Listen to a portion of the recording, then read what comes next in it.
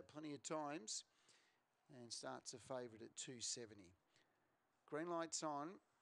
Stand by for a start. Race 11. Red Teltani out in box 7.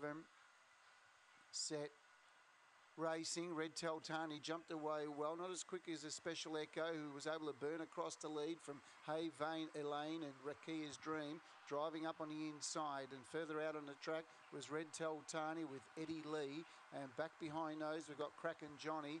And well back in the field was American Star Jono's Express into the home straight. Eddie Lee and being Special Echo. Special Echo's got up. Special Echo for Rakia's Dream. Hey Vane Elaine. Uh, then Eddie Lee was poking up on the inside.